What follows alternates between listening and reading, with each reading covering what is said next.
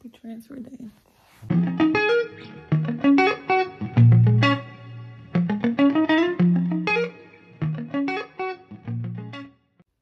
I'm getting knocked up today.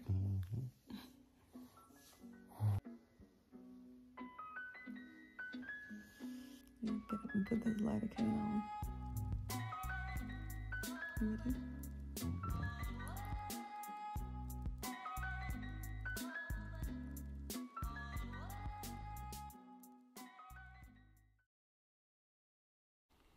You know what I'm saying?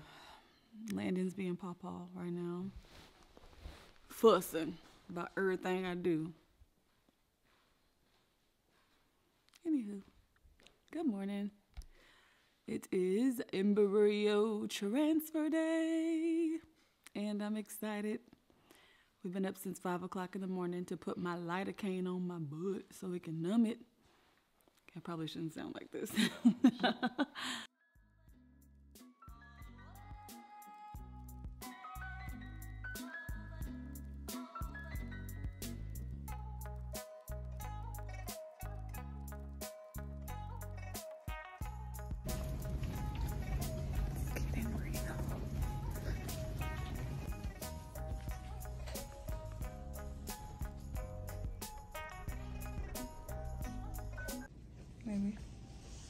you feeling?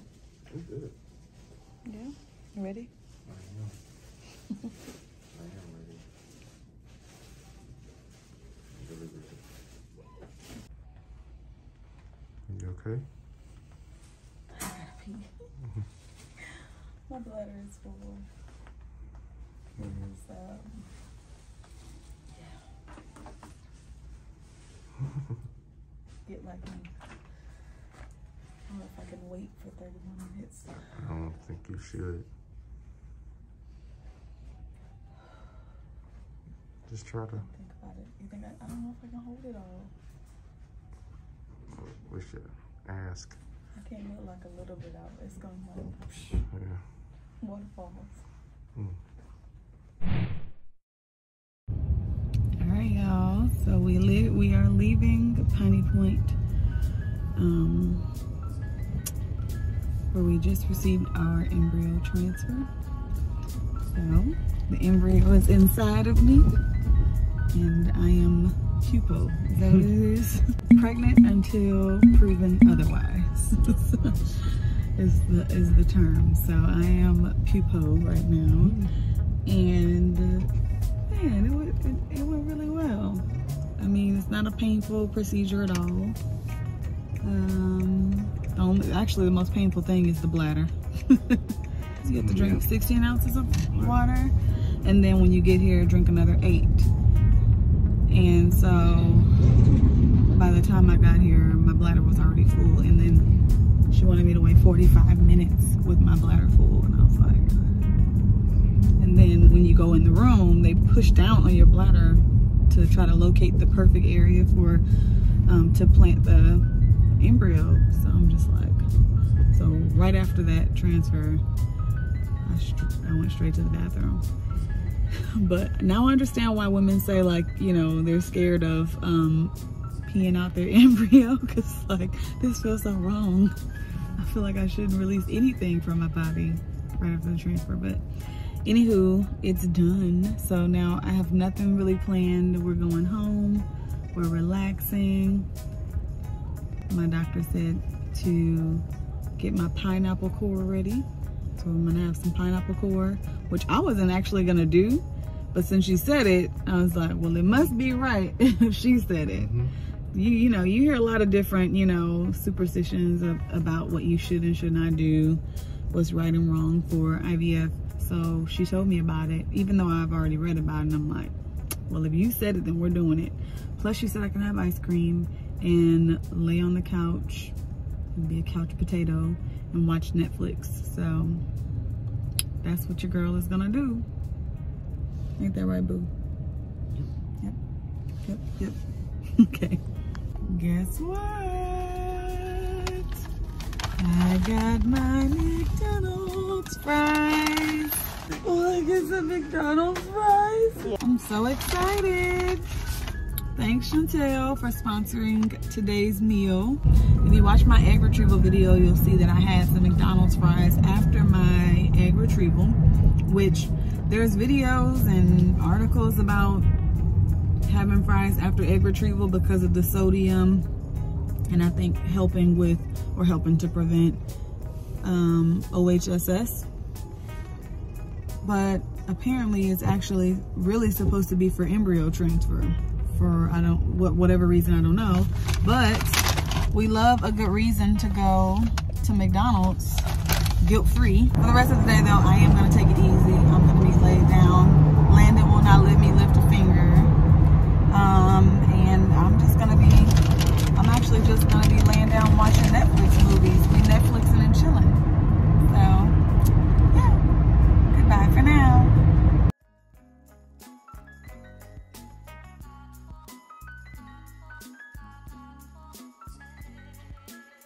Hello.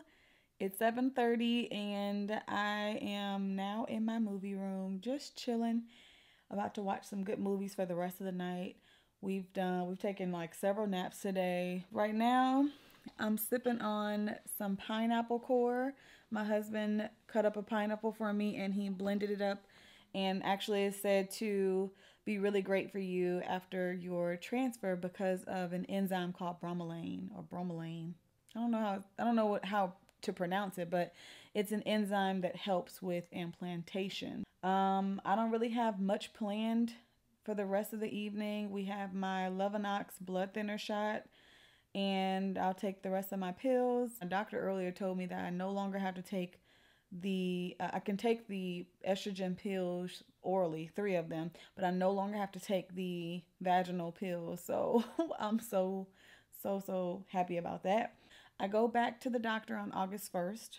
I go back to check for my estrogen level and my progesterone to make sure that I'm on track. I'll be taking my progesterone shots up until the first trimester if I'm pregnant, so I got to get used to those. Um, but it has not been hurting for the last few days, so I think I'm pretty much a pro at, at this point. The week after that, I'll probably have my pregnancy test I'm going to try so hard not to test at home. That is like the hardest thing, but I'll distract myself. Um, but I have to think of a way if I am pregnant to tell Landon. So uh, if you got some creative ideas, maybe inbox me. Or if you guys follow me on Instagram, the Isis Almighty, inbox me some ideas because I'm actually trying to figure out like if I do get pregnant, what's the best way to tell him? I want to be creative. I think he deserves it. But it is kind of hard when you're doing IVF because like your husband knows like all of the appointments, so it's kind of hard to like hide anything from him. So I kind of have to plan in advance, like the if if it happens. So yeah. Anywho, exciting times. I feel nothing. I feel great. Physically, I don't feel like anything is hurting or aching or anything like that. Earlier, I had like some very, very minor cramps, not anything that was painful at all, just kind of there. But I do want to talk a little bit about like earlier during my actual procedure because like I think people have questions about what the procedure is like. Like is it long? You know, so basically the, the procedure doesn't take long at all actually. It it's probably about 15 to 20 minutes long.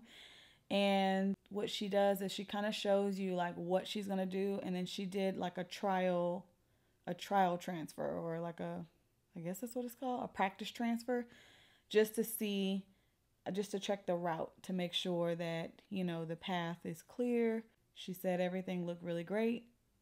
She showed me, we had our, um, she gave us a picture of our embryo and she also gave us a picture of like where she where she planted the the embryo so i think that made it really exciting because it's like it's real like this is our emBaby so like i don't know it's really exciting